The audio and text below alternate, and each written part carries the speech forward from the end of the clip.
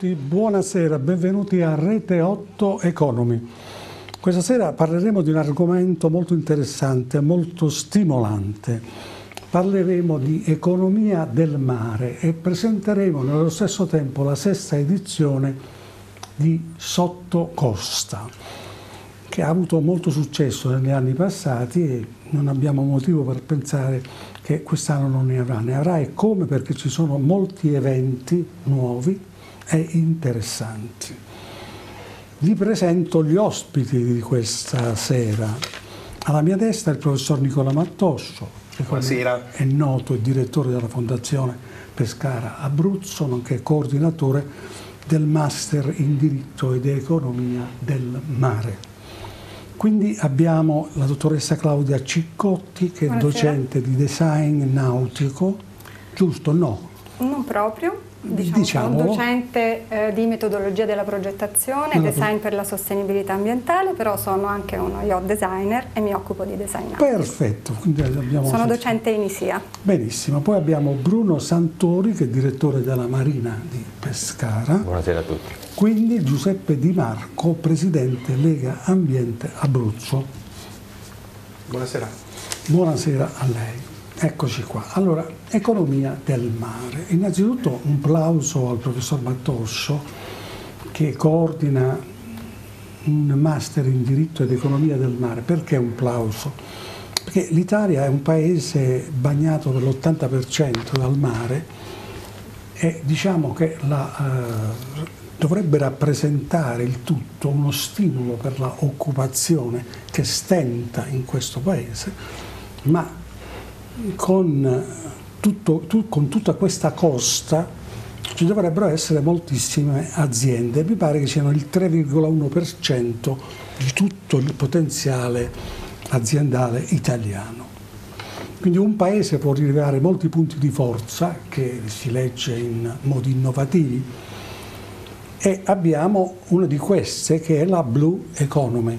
La Blue Economy, un volto di sistema produttivo che va dalle attività primarie, quali la pesca, la- quelle terziarie, il turismo marino, trasporti marittimi, ricerca, regolamentazione, ambiente, chi più ne ha più ne mette.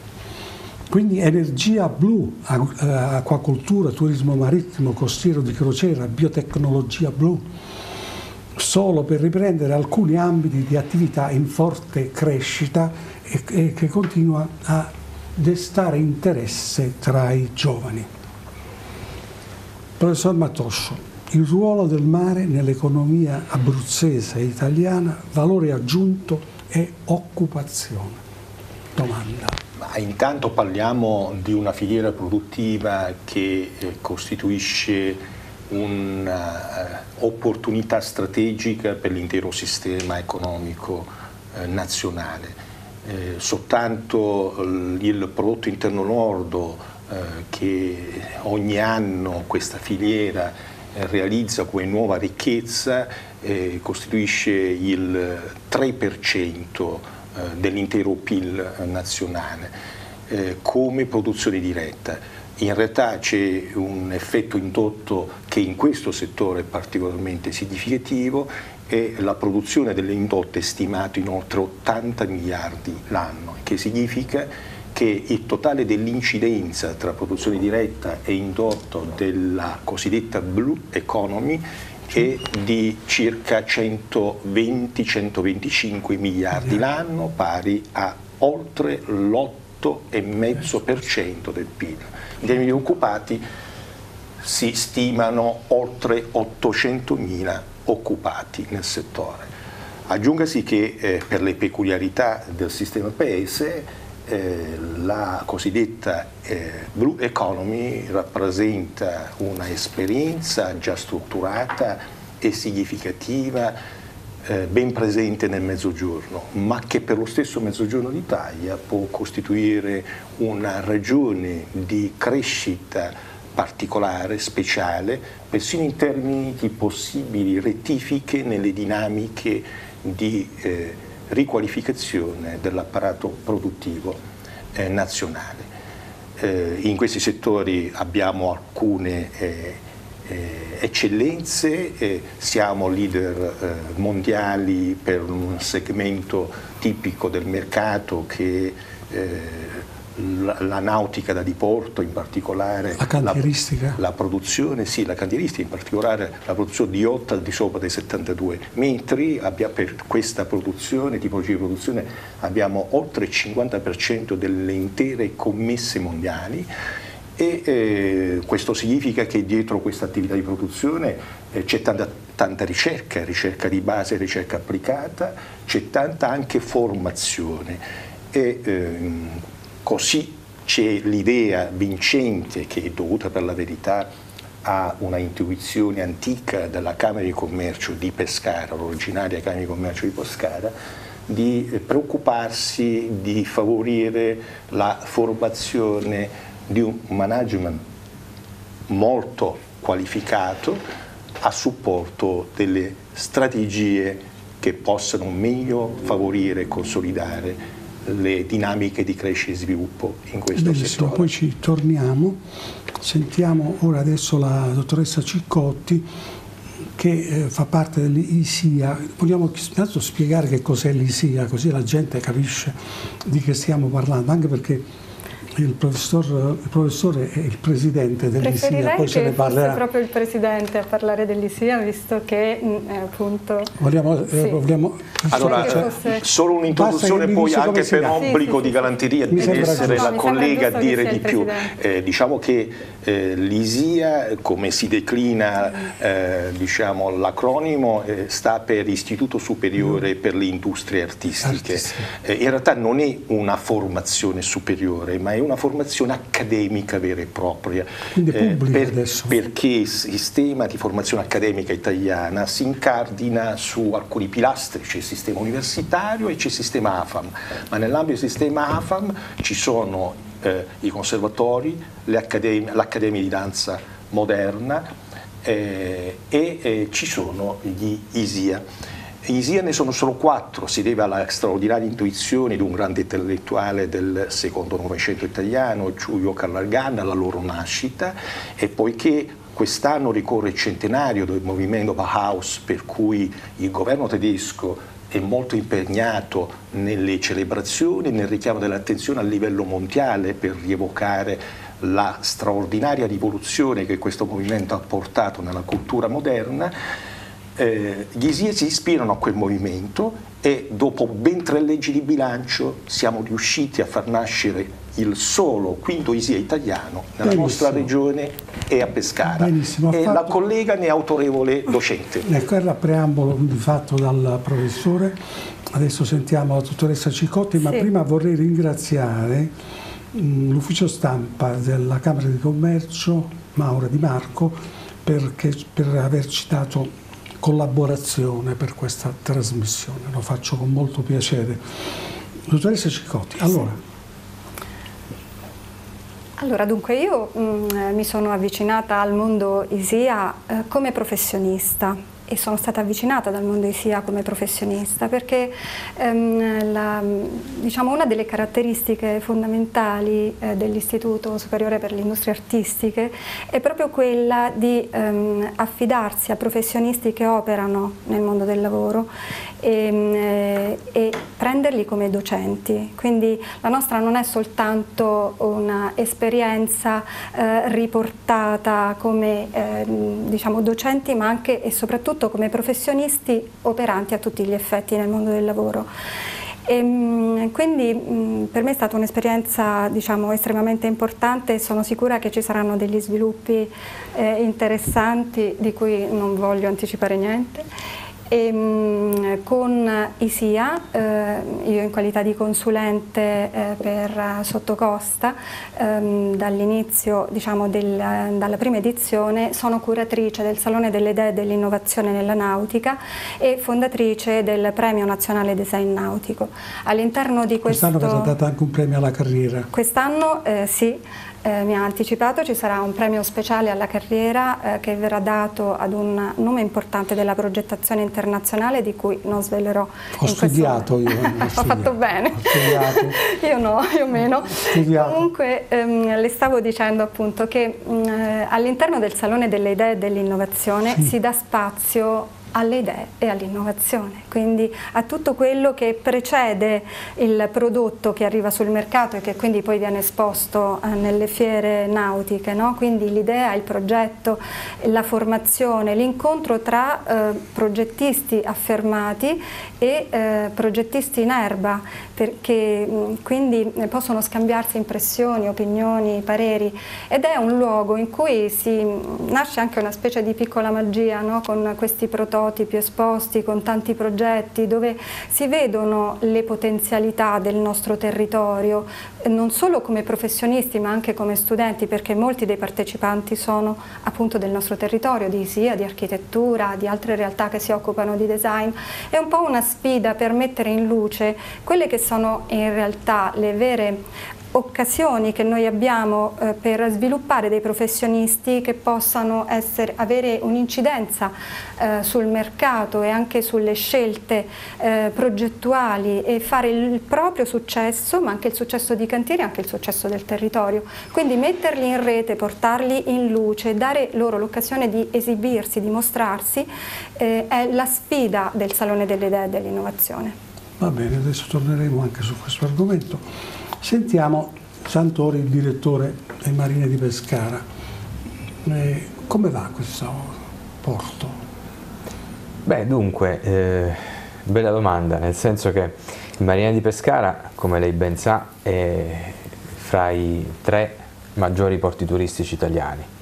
Anche qui, eh, visto che si è accennato a intuizioni del passato, eh, dobbiamo ricordare la grande intuizione che eh, ebbero insomma, i nostri governanti all'epoca e soprattutto eh, Gilberto Ferri quando pensò di eh, mo movimentare le energie della Camera di Commercio eh, per realizzare questa struttura. Una struttura che ancora oggi, nonostante siano passati più di 30 anni dalla sua inaugurazione, è ancora un fiore all'occhiello di questo territorio, un fiore all'occhiello mi duole dirlo, forse più riconosciuto al di fuori dei nostri confini regionali che all'interno di questa come regione. Ma comunque questo diciamo che fa parte un po' del, del gioco. È un Marina fortunatamente in salute dal punto di vista economico e finanziario, abbiamo negli ultimi anni davvero eh, fatto sforzi enormi per mantenere la società in equilibrio e nonostante il fatto che sia una società partecipata al 100% dalla Camera di Commercio, tuttavia non riceve alcun contributo di funzionamento dall'ente camerale, è, un, è, una macchina che cammina con il proprio motore e con la propria benzina. E ovviamente siamo alla presi, come tutti i Marina d'Italia, eh, con una crisi strutturale della nautica che riguarda principalmente il nostro paese, perché negli ultimi anni purtroppo ci sono stati diversi fattori eh, esterni al movimento ma di forte impatto sul movimento che hanno inciso, eh, ricordiamo il famoso decreto del governo Monti che eh, istituì un balzello che fece scappare dall'Italia 25.000 imbarcazioni da diporto, di queste purtroppo solo una piccola parte sono rientrate adesso.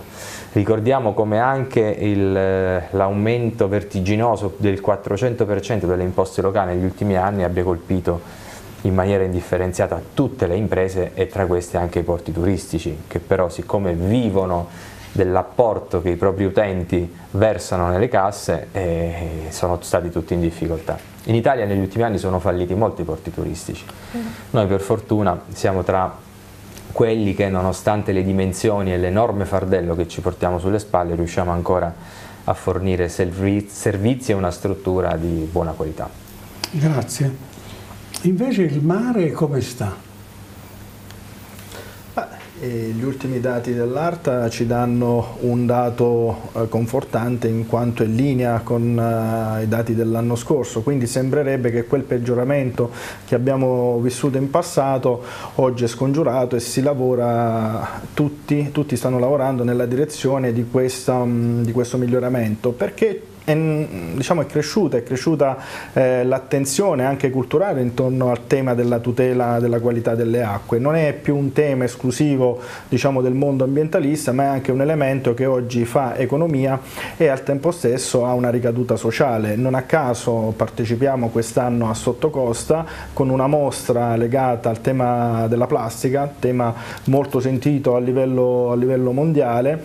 Noi in Italia abbiamo avuto diciamo, il privilegio di eh, portare alla conferenza degli oceani del 2017 che si è tenuta a New York presso l'ONU il primo rapporto eh, sulla qualità eh, delle plastiche presenti nel Mar Mediterraneo. È un'azione che è nata da uh, un'attività di cittadinanza attiva come questo progetto e quindi siamo stati ben felici di eh, ricevere l'invito da parte della Camera di Commercio e del porto turistico eh, di Pescara di partecipare alla mostra mettendo in campo eh, questa prima nostra attività che vuole essere anche un momento per ragionare insieme con eh, questi due mm, potenziali partner su quelle che possono essere le azioni, le buone pratiche di miglioramento e di messa a sistema eh, di energie che vanno appunto verso il tema della sostenibilità che oggi ancora di più eh, se facciamo riferimento alle mm, necessari interventi legati al tema del cambiamento climatico sempre di più possono rafforzare questa collaborazione in questa direzione e quindi mettere in campo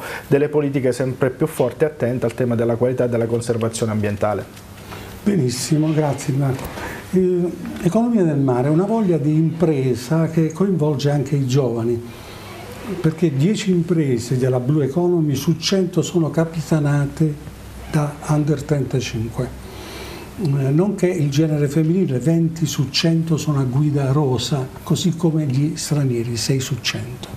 Che ne dice il professore? Sì, sono dati che confermano come la filiera, l'intera filiera è estremamente dinamica, volta al futuro e predisposta, vocata a intercettare tutti i migliori e più virtuosi processi eh, di innovazione, non solo tecnologica, ma anche relativamente ai modelli organizzativi e al concepimento, al saper concepire anche le eh, buone eh, pratiche.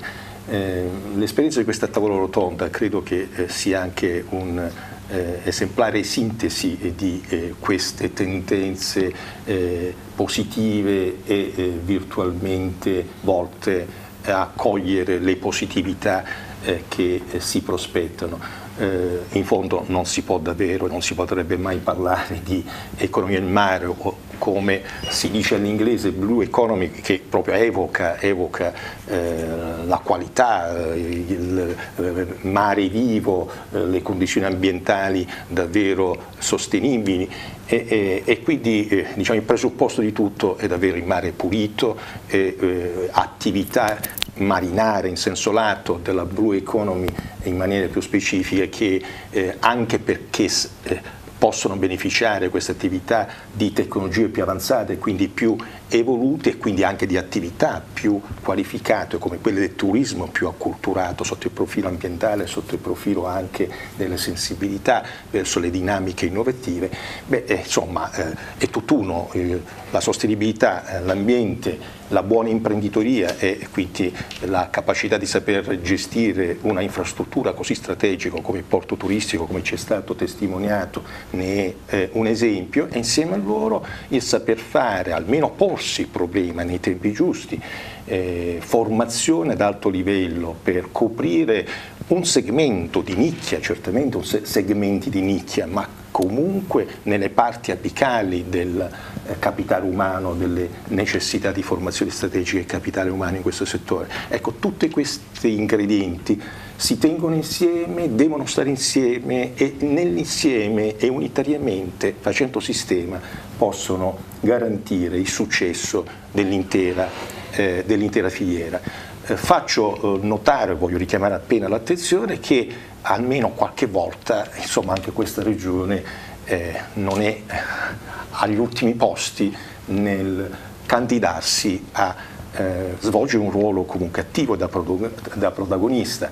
Eh, qui abbiamo, sono state, già state richiamate, una buona attenzione ambientalista sul tema, abbiamo una buona capacità imprenditoriale nel saper candidare il territorio come infrastrutture di accoglienza, il porto turistico ne è un esempio, abbiamo già citato eh, for, eh, linee di formazione accademica, universitaria del sistema AFAM come l'ISIA che eh, cercano di coniugarsi con le frontiere più avanzate della capacità di formazione nel settore e il design è fondamentale, strategico per coltivare innovazione nel settore, ma abbiamo anche imprese nautiche che non si dovrebbe eh, diciamo, trascurare che qualche volta faremo bene anche a invitare a questi tavoli di conversazione che arricchiscono il nostro territorio, basta riferirsi a quanto è presente intorno allo stesso porto di Ortona per rendersi conto come eh, il riferimento alla cantieristica per yacht grandi e di lusso, quindi soprattutto al di sopra dei 72 piedi, trovano capacità e imprenditoriale e di produzione cantieristica già nella nostra regione. C'è da augurarsi che tutto possa fare sempre più sistema e far crescere di più la nostra regione. Benissimo. Ora abbiamo una breve pausa pubblicitaria, ci divideremo tra poco. Rieccoci dagli studi di Rete 8, Rete 8 Economy, stiamo parlando di economia del mare e poi nella seconda parte parleremo della sesta edizione di Sottocosta. L'Italia, eh, dottoressa, è un paese di navigatori, oltre che di santi, è vero, e di poeti. Mm, il mare rappresenta un grandissimo valore aggiunto all'economia del bel paese. Orientare gli studenti verso una carriera lavorativa, visto che lei è docente dell'ISIA, nell'ambito dell'economia del mare, rappresenta a mio avviso, a nostro avviso, una mossa vincente per i giovani in un paese in cui l'occupazione stenta a decollare, lo dicevo prima al professor Mattoscio. Io credo che eh, il, il design nautico eh, possa costituire una grande opportunità soprattutto in un territorio che sembra, essere, sembra fare inizialmente delle resistenze, sì. ma in realtà ha soltanto bisogno di essere convinto, di essere diciamo, eh, abituato a parlare di determinati argomenti e questo è il motivo per cui noi dalla prima edizione di Sottocosta ci siamo impegnati a parlare di design nautico perché abbiamo, eh, come dicevo prima, eh, moltissimi progettisti che hanno un'attenzione verso il design e ehm, che potrebbero trovare nel design nautico una grande occasione. Io mh, ho eh, l'onore di, di avere tra i miei diciamo, più cari amici professionalmente dei grandi professionisti nel mondo della nautica e progettisti di fama internazionale da Ceccarelli a Vallicelli che hanno ehm, fatto barche per l'America's Cup e tutte le barche più importanti, loro, eh, siamo tutti riuniti in un'associazione che si chiama Spronadi che riunisce i progettisti di nautica da diporto. E eh, devo dire che questo è un settore soprattutto quello delle eh, grandi eh, imbarcazioni di lusso, dei maxi yacht, un settore che non conosce crisi. Sì, e infatti, infatti ehm, fa eccezione esatto. ai tempi che viviamo. Sì perché il lusso non conosce crisi fondamentalmente, quindi questo è un dato che dovremmo tenere sempre più in considerazione. E, mm, per cui orientare i ragazzi verso una formazione che gli consenta di avere delle opportunità non solo a livello locale ma anche a livello nazionale e internazionale, io credo che possa essere una scelta vincente. Il 26 proprio con ISIA stiamo organizzando un workshop e, e, tratteremo il tema dei maxi yacht, verrà una progettista eh, di, di, grande fama che ci farà vedere, oltre ai suoi ultimi progetti pubblicati su tutte le riviste internazionali, ci farà vedere con una lavagna come si inizia a progettare. Ci e sarà... sì. Certo, assolutamente dovete venire. E per cui vedremo come si inizia dalla prima linea fino ad arrivare allo scafo, chiaramente mh, così per sommi capi, però credo che in un'ora eh, di, di, workshop eh, ci si avvicinerà e si capirà che fondamentalmente la progettazione nautica non è così distante dalla progettazione di una casa o di un cucchiaio, bisogna solo tenere in considerazione quelli che sono i vincoli. Esatto, i vincoli della progettazione. A lei mm, che dirige il porto, vengono giovani a chiedere, vengono, cioè, qual è l'impatto che avete con il territorio? Come anticipava il professor Mattoscio prima, eh, il mare, la nautica in particolare, mettono in moto una serie di, di filiere che sono molto radicate e ramificate nel territorio. Eh, giovani interessati a, a, operare in questo settore ce ne sono, ce ne sono tanti e ahimè più, più delle volte trovano le risposte che cercano fuori dal nostro territorio regionale. Eh, o addirittura a volte anche fuori dall'Italia perché mh, questo paese vive e sconta un gap culturale da questo punto di vista. Eh, essere proprietari di una barca eh, negli altri paesi europei, in particolare quelli del nord Europa, è, equivale a essere proprietari di, un, di una motocicletta o di una macchina. Un, esatto, ma anche meno, diciamo. Cioè, è una pratica diffusissima in ogni ceto, in ogni strato della popolazione. In Italia purtroppo esiste ancora questo, un pregiudizio che non ha nessun fondamento nemmeno dal punto di vista statistico perché il 90% della nostra flotta navigante è costituita da imbarcazioni fino a 10 metri, quindi parliamo comunque di eh, innatanti e comunque di imbarcazioni che sono alla portata non dico di tutte le tasche ma comunque anche di chi magari sceglie di eh, acquistare una piccola imbarcazione anziché avere il giardino più curato oppure farsi qualche viaggio in più. Quindi fondamentalmente è, un, è uno stereotipo che colpisce anche l'indotto, colpisce anche l'occupazione colpisce eh, un sistema di imprese che eh, viene qualche volta etichettato in maniera sbagliata e che di conseguenza determina anche quelle che sono le scelte a livello pubblico. I decisori pubblici se devono trovare qualche settore da colpire in momenti di particolare crisi o emergenza, come abbiamo visto in passato, non si sono fatti scrupoli di colpire la nautica senza sapere che invece i danni che si andavano a fare erano quelli classici quelli dell'elefante nella cristalleria. Perfetto, bene. Eh, Di Marco, eh, la sostenibilità a questo punto, parlando di mare. Sì, può essere intesa sotto, sotto, vari modi. Prima parlavamo del tema della, della, plastica, che è sicuramente una delle criticità più attenzionate, ma parlare di sostenibilità significa parlare anche di un'economia sostenibile del mare, quindi entrare dentro un sistema eh, diverso che oggi eh, raccoglie anche le tematiche del, dei cambiamenti climatici, della sfida dei cambiamenti climatici.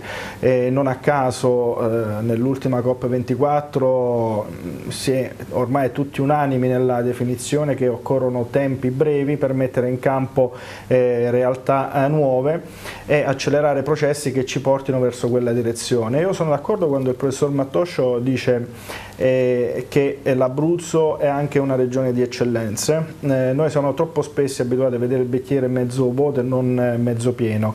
Questo non perché dobbiamo cullarci su quello che funziona, ma semplicemente perché abbiamo delle sfide importanti da mettere in campo, come l'industria del design, e la nostra regione eh, ha una peculiarità tutta sua. Da un lato è per oltre un terzo tutelata, quindi parliamo di conservazione di aree protette, abbiamo anche un'area marina protetta che è Torre del Cerrato, Serrano, che è un po' il nostro fiore all'occhiello, insieme con il potenziale nascente parco della costa dei Trabocchi, ma già di per sé la realtà dei Trabocchi eh, vive un processo nuovo di accompagnamento, c'è la Camera di Commercio che insieme con altri partner stanno ragionando su un contratto di costa, è un'innovazione da questo punto di vista, eh, perché finora ci eravamo fermati un po' al discorso dei contratti di fiume e non ci eravamo spinti così oltre. Questo significa che si è ormai tutti eh, coscienti che bisogna mettere in campo un'azione di sistema ripartendo dalle nostre eccellenze e eh, la Regione Abruzzo ha anche un'industria, un tasso di industrializzazione del 23-24%, adesso non ricordo il dato esatto, che mh, ci deve far uscire fuori da questa contrapposizione perché troppo spesso il nostro mondo interviene su quello che non funziona ma dobbiamo forse anche noi mettere in piedi un, un cambio di passo, scusate il gioco di parole, per far sì che comunque quei sistemi eh, innovativi che funzionino e che creano innovazione. Del resto con lo stesso porto turistico stiamo ragionando su un protocollo più allargato per mettere in campo anche altre esperienze, possano essere comunicate anche nel giusto modo. Da qui è il secondo elemento, il secondo nostro contributo che daremo appunto all'iniziativa di Sottocosta quest'anno è un workshop sulla uh, comunicazione ambientale. Ci è stato sollecitato in modo intelligente dalla stessa Camera di Commercio, mh, mm, ci stiamo lavorando insieme perché comunque dobbiamo eh, accompagnare a mio avviso anche eh, un nuovo modo di fare comunicazione che non può essere eh, solo comunicazione scientifica sulla quale ormai siamo bravi, ma una comunicazione che abbia anche un carattere sociale e economico e ci mette nella condizione di affrontare queste nuove sfide insieme. Grazie. Eh, professor Matoscio, i settori costitutivi del comparto presi in considerazione sono i seguenti, li leggo, li ho qua. Uh, filiera ittica, industria delle estrazioni marine, filiera della cantieristica, movimentazione di merci e passeggeri, servizi di alloggio e ristorazione, ricerca, regolamentazione e tutela ambientale, attività sportive e ricreative. Sì, eh, c'è una ricchezza di riferimenti che qualificano eh, questo settore eh, si semplifica come una filiera, ma eh, in realtà eh, bisognerebbe avere anche uno sguardo orizzontale, orizzontale non solo uno certo, sguardo certo, verticale, certo, ma uno certo. sguardo anche molto molto orizzontale. Yeah. E eh, per capire poi eh, la valenza crescente e sempre più strategica che nell'insieme questo settore eh, già e assumerà sempre di più nell'immediato prossimo, basta far riferimento a eh, due eventi che sotto gli occhi di tutti, credo anche dei nostri eh, telespettatori. Eh, il primo evento è dovuto alla crescita dei mercati mondiali, a quelli che sono i fenomeni eh, comunque irreversibili, comunque la si pensi, eh, dovuti alla globalizzazione e quindi alla crescente integrazione eh, tra continenti, popoli, stati, che comunque hanno un risvolto molto pratico che ha un riflesso diretto con il tema che stiamo trattando. E eh, vale a dire che il trasporto di una tonnellata di merci via mare ha, eh, ha ha accresciuto la misura della distanza, eh, ma, ma questo solo in, in, apparenza è un paradosso, in realtà è un riflesso eh, concreto dei fenomeni a cui accennavo, quindi si è arrivati adesso a circa 5 eh, 1300 miglia di percorso di una tonnellata merce trasportate via mare. Eh, non è una distanza che misura una maggior distanza, ma anzi una maggior distanza certo, certo, che certo. misura una vicinanza. Perché questo? Una, maggior, una Perché è evidente che eh, il trasporto di merci ormai hanno origini lontane, molto lontane, che prima non, potevano, non poteva essere così perché non c'erano i mezzi nautici adeguati, di conservazione dei prodotti adeguati, eh, di sicurezza eh, del trasporto, eh, oltre che eh, del prodotto medesimo. Adesso tutto questo eh, e ce lo lasciamo alle spalle, abbiamo un grande scenario molto modificato che avvicina, ribadisco, i popoli, i continenti, gli stati, le nazioni. E noi non possiamo non candidarci per storia nazionale, per peculiarità anche geografiche, a svolgere un ruolo positivo, attivo, eh, significativo, non, voglio, non, dobbiamo mai essere megalomani a dire vogliamo essere una superpotenza del mondo, però un ruolo adeguato, davvero adeguato a eh, quello che eh, madre natura anche ci assegna e ci affida, insomma sarebbe deplorevole non coltivarlo. L'altro esempio e concludo è quanto è avvenuto e sta avvenendo in questi giorni, in queste settimane a Venezia, io po pochi giorni fa ero proprio lì eh, per gestire un concorso universitario e il tema esplosivo di quella città era il biglietto e ticket di accesso alla ah, città storica eh, che eh, comunque è già operativo per coloro che sbarcano sbarcano dalle grandi navi da crociera. Eh, e quindi è evidente, abbiamo due macro grandi fenomenologie, trasporto merci, trasporto passeggeri da crociera, l'Abruzzo e soprattutto gran parte del mezzogiorno d'Italia debbono accelerare la loro attenzione proprio in tutto quello che è il mondo di mezzo, a cominciare soprattutto dal cluster della nautica di porto, perché abbiamo più cluster in, nella Blue Economy, ma il cluster della nautica di porto è eh, particolare e si presta anche per dimensioni e flessibilità ad essere meglio interpretate da regioni piccole, ma soprattutto in particolare dal Mezzogiorno d'Italia del suo insieme. Grazie. Impresa del mare, due su dieci sono guidate da donne. Beh, mi fa piacere questo. Le fa piacere. L'Abruzzo può essere un importante snodo nella rete europea dei trasporti? Proprio per quanto domanda... stava dicendo prima il professor Mattoscio, nel settore dell'economia del mare, mm, le città portuali, incentivi concreti per lo sviluppo dell'economia del mare, economia del mare risorsa per creare occupazione. Ma io ritengo che tutto, a tutto questo possa, essere, possa esserci una risposta assolutamente positiva, però Mm, credo che gli sforzi che debbano essere fatti debbano provenire da uh, molteplici direzioni. Mm, le faccio un esempio eh, perché mm, in quanto donna no? ed imprenditrice oltre che eh, docente, progettista, ehm, da quando eh, praticamente sono stata contraffatta perché poi nel mondo dell'EIDE eh, c'è la contraffazione che è ehm, diciamo, la spina sempre ehm, viva ecco, per, per, ogni progettista e mh, mm, da lì sono diventata imprenditrice, ho iniziato a produrre i miei brevetti. Quindi le dico in qualche maniera che il ruolo della donna imprenditrice non è un ruolo particolarmente semplice. Come eh, imprenditrice, anche come progettista Mm, che si occupa di design nautico, le dico che a Roma ero l'unica relatrice ad un convegno della durata di 10 ore, quindi eh, che ci siano donne alla guida di imprese, questo vuol dire che eh, qualcosa si sta muovendo, che eh, viene riconosciuto anche l'impegno della donna eh, nel, nel, in ambiti che eh, fino a non molto tempo fa erano preclusi alla donna stessa, quindi vuol dire che sta cambiando anche una mentalità, un, un modo di guardare alle professionalità eh, senza guardare eh, diciamo all'origine all del professionista al gene. e al gene, quindi di conseguenza tutto questo non può che essere un dato positivo. Benissimo, ancora una pausa pubblicitaria e poi rientreremo per tirare le conclusioni. A tra poco. Allora, eh, rieccoci qui dagli studi di Rete 8, Rete 8 Economy, stiamo parlando di economia del mare, o meglio abbiamo parlato di economia del mare, quindi possiamo concludere confermando che il futuro dell'economia ha i colori del mare, Blue Economy.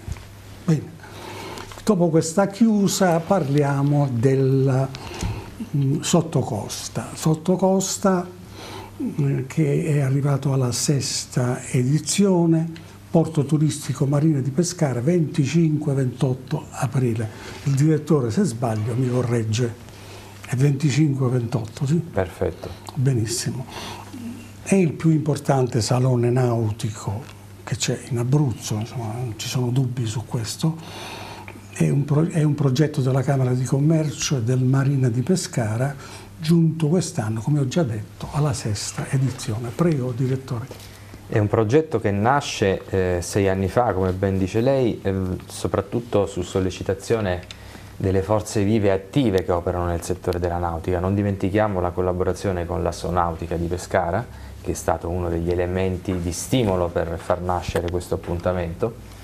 E ehm, non dimentichiamo anche il patrocinio di Assonat, che è la principale eh, associazione eh, italiana che riunisce porti a prodi turistici. Ehm, Sottocosta si chiama così proprio perché vuole eh, fotografare eh, il suo target, l'obiettivo a cui è rivolta come, come, manifestazione, cioè sono proprio i piccoli proprietari di piccole imbarcazioni, quelli che eh, con la barchetta da 6 metri vanno a farsi una passeggiata la domenica o amano andare a pesca eh, davanti alla nostra al nostro litorale, appunto sotto costa. È un uh, salone che nel corso di questi sei anni si è ritagliato un'identità... Stiamo vedendo delle immagini. Sì, delle precedenti edizioni, si è ritagliato un'identità ben precisa eh, si rivolge a un pubblico ben definito, ma soprattutto è diventato anche un importante contenitore di diffusione e disseminazione di quelli che sono i concetti base e che sono quelli di cui abbiamo parlato anche oggi, quindi eh, l'economia del mare, l'attenzione all'ambiente, la progettazione, le professioni, eh, le filiere economiche legate al mare e alla nautica da diporto. Il Marina di Pescara è indubbiamente eh, la location ideale per quanto riguarda questa manifestazione. Eh, se proprio vogliamo individuare eh, una criticità è quella che gli spazi a disposizione a volte risultano essere anche un po' troppo compressi rispetto a, a tutte le potenzialità che ci sono per quanto riguarda eh, gli espositori, gli aspiranti espositori, la capacità di mettere in mostra eccellenze non solo di questo territorio ma negli anni abbiamo cominciato ad attrarre anche espositori di altri paesi, altre regioni di questo paese, eh, proprio a, a, evidenza del fatto che è un appuntamento che ormai si sta ritagliando un proprio contorno ben preciso nel panorama nazionale. Non vogliamo fare e non possiamo fare la concorrenza al Salone di Genova o ai grandi saloni internazionali, ma non è nemmeno questo l'obiettivo ci rivolgiamo a un pubblico completamente diverso che pian piano sta comprendendo il valore e la capacità eh, di eh, questo evento di rappresentare in maniera eh, pratica, concreta e anche economica una filiera di una certa importanza. Vorrei fare una domanda a Di Marco che prego non sembri una provocazione. Cioè, io quando prima pensavo al Lega Ambiente, pensavo sempre a dei signori molto attenti all'ambiente, al mare, all'aria, però eccessivi, cioè andavano un po' troppo oltre, spesso non si pensava tanto al discorso occupazionale, cioè, ma solo al fatto che l'uccello, non so, pagulo non nidifica in quel posto perché ci sono, cioè si parlava, cioè vedo proprio da questa sera, ma già da qualche tempo, una crescita positiva di Lega Ambiente. Cioè da questo punto di vista erano bravi prima anche, mica erano meritevoli anche prima, mm, ma adesso vedo che vanno di pari passo con mm, quello che fanno con il business, con eh, sottocosta per capirci. Diciamo che non siamo noi quelli che siamo cambiati, quest'anno noi andiamo al nostro eh, congresso nazionale e compiamo 40 anni, in effetti e stiamo lavorando su un, uh, su un, testo nazionale dove mettiamo insieme le nostre sfide vinte e anche quello su cui c'è ancora da, da, lavorare. Il tema vero è che la sfida dei cambiamenti climatici ci porta a un cambio di modello che si avvicina molto a quello che noi dicevamo in passato. Questo non significa che noi avevamo sempre ragione, e spesso c'è anche la teoria dell'arciere, no? punti l'arco più in alto cercando di, di, di, colpire. di colpire. Oggi c'è un fatto nuovo eh, che è venuto proprio fuori anche dalla discussione di oggi, c'è una sinergia che non passa solo attraverso il nostro mondo, ma il tema della sostenibilità è trasversale all'aspetto economico, sociale, industriale e proprio perché noi comunque abbiamo delle eccellenze. Faccio un esempio pratico per raccontare questa sintesi. C'è un'azienda eh, abruzzese che poi è una multinazionale, la Fater, no? chi non la conosce, per la produzione di Pampers e altro. E noi ci siamo scontrati con loro mh, qualche anno fa ragionando sul tema dell'uso dei pannolini eh, da, eh, diciamo, lavabile o meno, loro ci dicevano che era un processo non sostenibile. Eh, al tempo stesso eh, noi però cercavamo una soluzione a, a, quest, a questo, questo, rifiuto che caratterizza un eh, grosso elemento indifferenziato che va a discarica e incenerimento. Su questa iniziale discussione e contrapposizione tra noi e questa azienda, dopo dieci anni la Fater ha brevettato un modello unico unico a livello mondiale e ha eh, potenzialmente la possibilità di aprire un impianto che non solo sottrarrebbe a discarica circa un milione di tonnellate l'anno di eh, rifiuto indifferenziato che oggi va a discarica e incenerimento, quindi quello contro noi abbiamo sempre combattuto, ma al tempo stesso permetterebbe anche la costruzione di un indotto di circa mille dipendenti. Su questo purtroppo è ancora un po' eh, latente il sistema governativo perché non ancora diciamo, formalizzato questa norma che ci dice che il pannolino che entra come rifiuto diventi non più rifiuto ma materia prima seconda e possa essere reinserito nel ciclo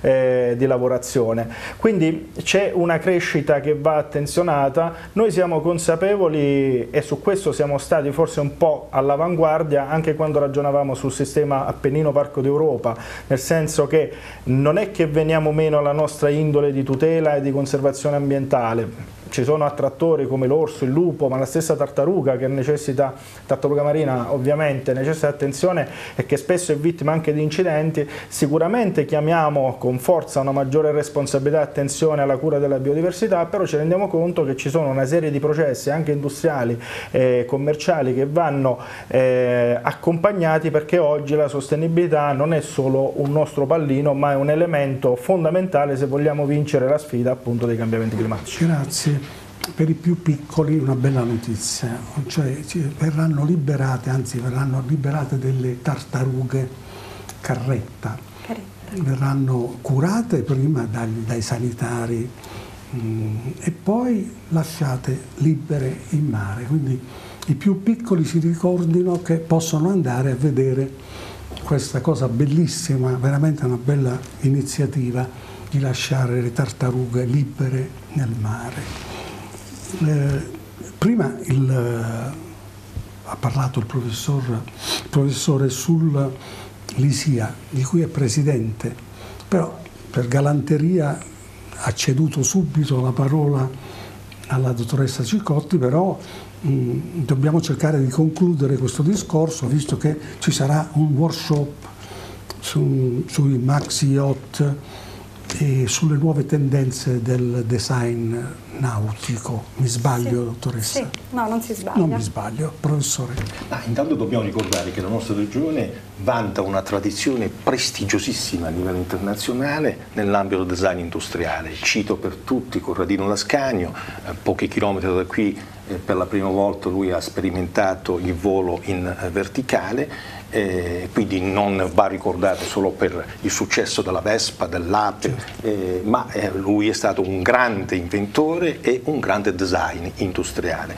Poi nelle nostre prossimità ci sono state esperienze di design nel settore manufatturiero, da quello dell'abbigliamento all'automotive, ugualmente non eh, trascurabili. Eh, dunque eh, c'è il tema del design che è da concepire come un processo di conoscenza, di valorizzazione eh, manufatturiera e non solo, che rappresenta sempre più una opportunità imprescindibile per riconcepire proprio modelli anche di attività economica nella direzione della sostenibilità.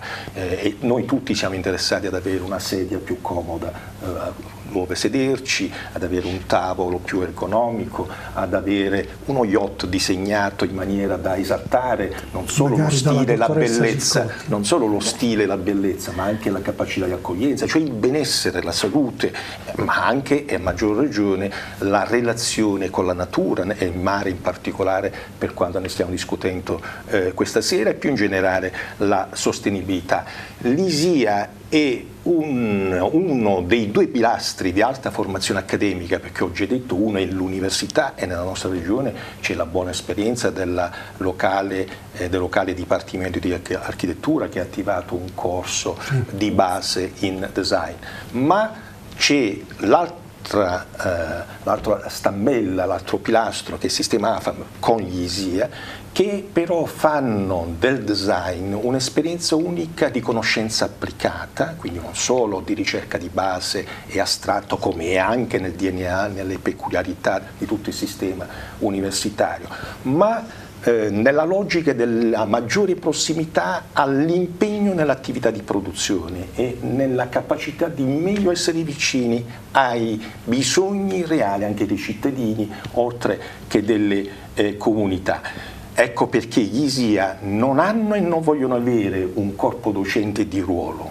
ecco la peculiarità, ma il corpo docente di questi istituti viene reclutato con avvisi pubblici perché è un'università pubblica, una alta formazione, un istituto di alta formazione accademica pubblica, quindi sempre con trasparenza e con procedure pubbliche, ma direttamente il reclutamento avviene nel modo delle professioni e delle competenze imprenditoriali, perché come era nel movimento, DNA nel movimento Bauhaus dell'inizio del Novecento, la conoscenza e le creatività debbono essere sempre più ricondotte nelle prossimità dell'impegno di produzione. È una sfida aperta in cui la nostra regione è pienamente coinvolta grazie a questa nuova iniziativa che accogliamo. Perfetto, ci sarà quest'anno la presentazione del bando sì. del premio, premio design nautico e la grande novità, l'abbiamo detto all'inizio, del premio alla carriera. Sì, allora, ne vuole parlare, eh, dottoressa? Sì, certo. Relativamente al premio nazionale design nautico presenteremo il bando della quarta edizione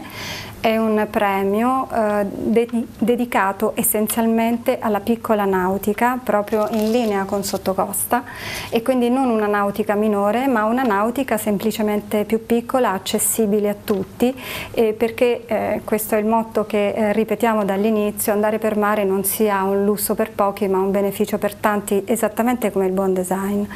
E, mh, quindi l'obiettivo del Premio Nazionale Design Nautico è quello di mettere mh, progettisti eh, di due categorie distinte, professionisti e studenti, di fronte ad un tema dedicato appunto alla piccola nautica. Siamo passati dal restyling del Moscone, che è stata la prima edizione del premio, per arrivare al, mm, eh, a molti altri temi appunto relativamente ai natanti, quindi abbiamo avuto il natante da pesca e da passeggio per il secondo bando, il natante da lavoro per marine, porti turistici che abbiamo premiato lo, nella scorsa edizione edizione con progetti davvero interessanti e eh, quest'anno presenteremo il nuovo bando eh, che però eh, vi, vi, invito a, scoprire. a, scoprire. direttamente il 27 senza preannunciare il saremo, tema e, e, saremo, e poi se saremo. posso chiudere eh, io credo che mh, ogni professionista, ogni progettista debba sempre tenere a mente che ehm, la,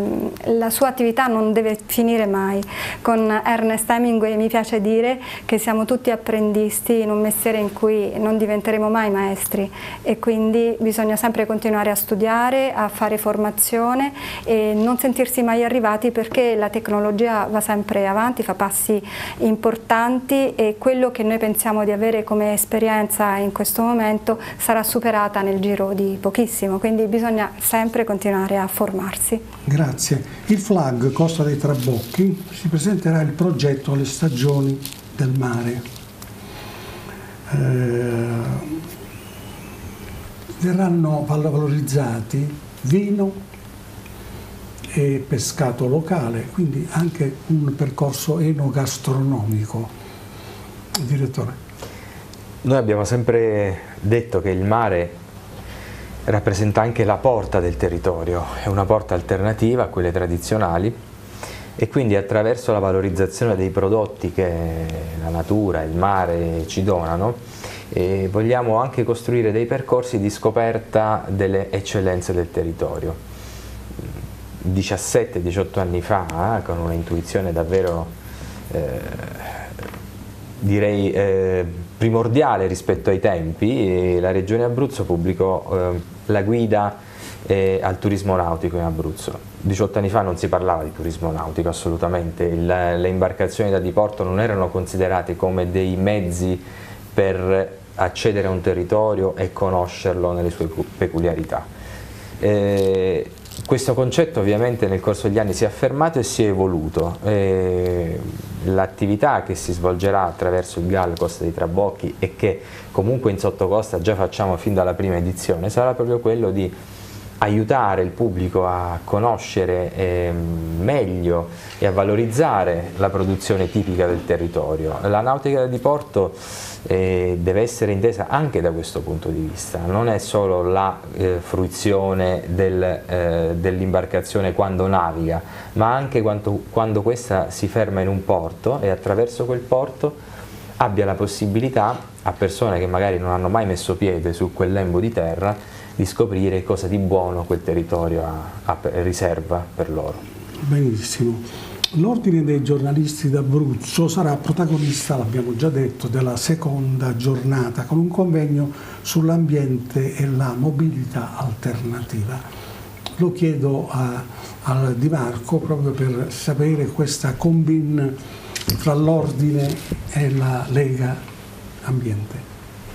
Diciamo che ci piace essere anche un po' incursori. Eh, L'idea è ripartire proprio dal tema della comunicazione. Ma l'avete avuta voi o i giornalisti?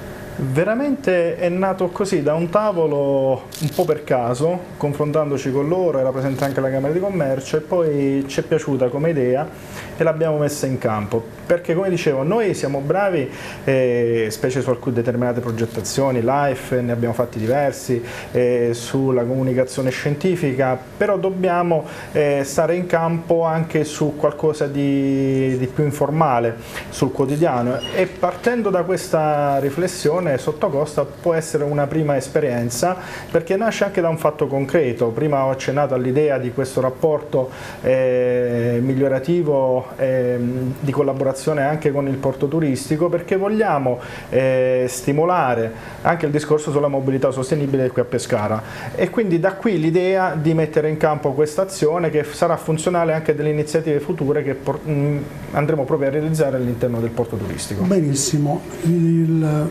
Abbiamo parlato un'ora, professore, eh, ci preoccupavamo all'inizio, riusciremo a parlare un'ora, potremmo continuare ancora per un'ora. Quindi io ringrazio il professor Mattoscio per essere intervenuto, ringrazio la dottoressa Ciccotti, il direttore della Marina di Pescara Bruno Santori e poi il Giuseppe Di Marco, presidente della Lega Ambiente Abruzzo. E ancora una volta la mia collega Maura Di Marco dell'ufficio stampa della Camera di Commercio che è stata utile, anzi utilissima per l'organizzazione di questa trasmissione. Eh, grazie ai telespettatori, felice sera a tutti, arrivederci.